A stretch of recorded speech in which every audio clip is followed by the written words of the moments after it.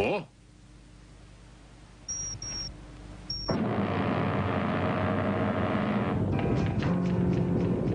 Oh.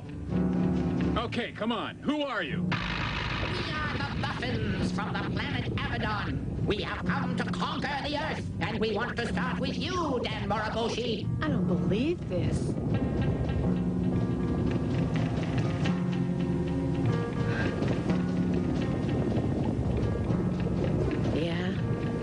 Real.